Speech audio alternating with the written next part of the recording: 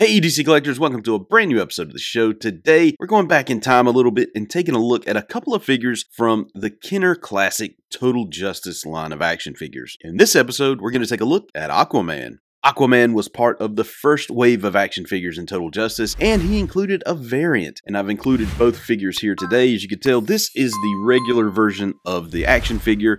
This is the variant with the gold armor on the side. Now, if you're wondering why Aquaman has a hook for a hand, this is part of the 90s run of Aquaman from Peter David. Now, the front of the packaging is just classic 90s toy packaging nice artwork here to make you really want to buy the figures and and let you know that it's part of the DC line and then just a window box showing you that you what you get with the accessories that it comes with. This over here also includes an exclusive Batman and Superman figure art offer.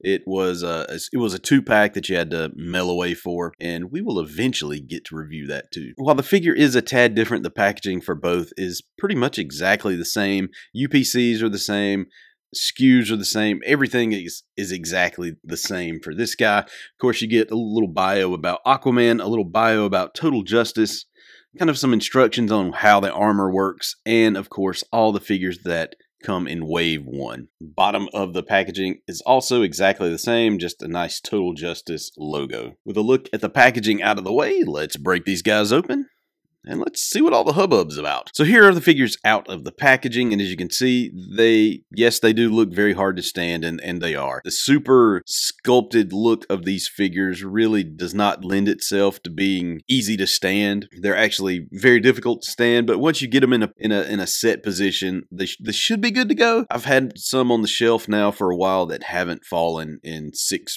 months or so. Let's start off by taking a look at the accessories, and yes, both figures have the same exact set so we'll just look at one set. Here is the launcher that goes on Aquaman's arm. And as you can see, it just attaches here. You just kind of plug that onto his right arm.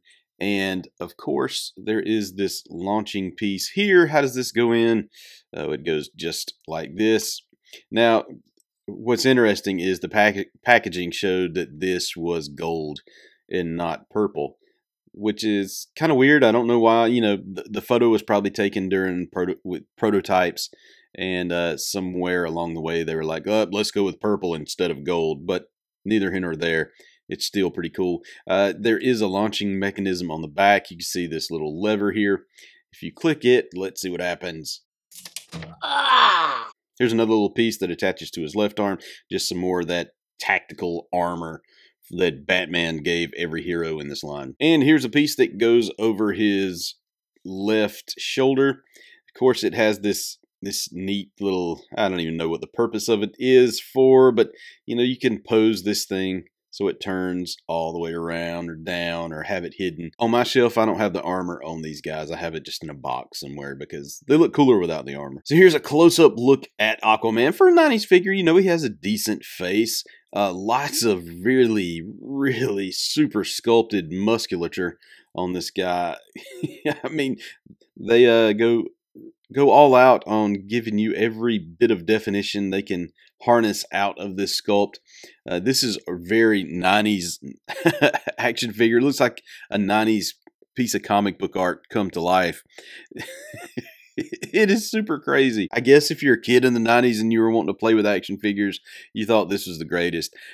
You know, I, I come from the superpowers era and I it, and after it ended, I so wanted another DC line, and this was the follow up to the Superpowers, and it was n- nowhere near what I wanted. But now, for whatever reason, I do have sort of this nostalgic feel for the Total Justice line, even though, uh, yeah, they're not they're not the greatest to stand on the shelf. But once you get a whole pile of them on the shelf together, they look pretty cool. As far as articulation goes, his head can turn not all the way around. It could, but you have that sculpted hair and his chin.